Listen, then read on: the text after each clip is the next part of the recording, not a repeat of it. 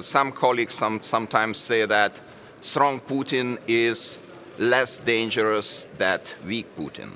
I don't agree with that. We have to move forward and to be decisive because now is a crucial moment of history.